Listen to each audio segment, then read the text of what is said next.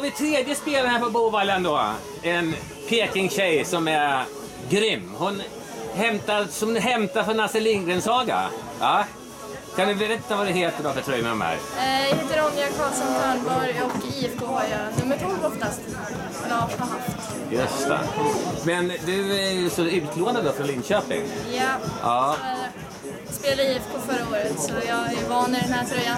Ja, Men eh, nu spelar jag där. ja just det. Precis. Du kommer och går helt enkelt utifrån matchläget. Lite så. Ja, Jag precis. spelar match. Precis, precis. Men eh, jag såg det också då i matchen mot Södersnäckarna. Då var jag också där och såg matchen. Och då gjorde du också mål. Nej, idag vart det inget. Nej, men du gjorde mål då. Ja. Och du gjorde mål med båda fötterna. Ja, Ja, är du tvåfotad? absolut inte. Va? Jag är så högerfotad man kan bli. Men du gjorde ett mål med vänsterfoten den matchen? Ja, ja. det var jag riktigt nöjd med. Det kan inte bara vara en slump. Du tränar ju Ja. vänsterfoten en del, ja, eller? den blir ju bättre med tiden, men den är... Nej, inte bra. Men hur gammal är du? Jag är 18. 18 bara. Herregud. Men då har du spelat i Linköping. Var det från april som du gick dit? Ja, april, mars. April mars. Vad tycker du att du har lärt fått där? Eh, ja, jag är ju smartare försvarsspelare. Alltså jag ser ju lite tidigare om bollen kommer gå till kanten eller om den kommer gå. Som sagt, gå upp i press är väl lite skillnad. Ja. Och sen så är jag mycket lugnare. Bollen ska inte iväg direkt. Nej, nej, precis, precis.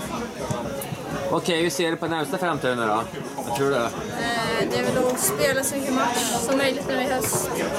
Eh, utvecklas på träning fortfarande. Ja, Just det, precis. Men det är så du är så ung, då går du i skolan också, eller hur? Ja, sista året. Va? Sista året. Ja, just det. Det är ett viktigt år. Vad läser du då för något då? Eh, jag läser samhäll fast fotboll på, i Linköping. Aha. Okej, du går på ett fotbollsgymnasium där? Ja. Ja. Fria läroverken. Va? Ja, precis, precis. Du tycker att det går att kombinera gymnasiestudier med fotboll då, på så här hög nivå? Det går väl bra eh, nu i trean för mitt schema var ganska lugnt. Men eh, de andra två åren hade jag nog behövt lägga till eh, ett fjärde år om jag hade spelat. Ja, okej. Ja, men Ronja, ett grymt lycka till och så en bra resa hem. Och så Ja. kör hela vägen här året. Ja, vi tror, så vi tror på dig. Tack, Ja, tack. tack. Hej då.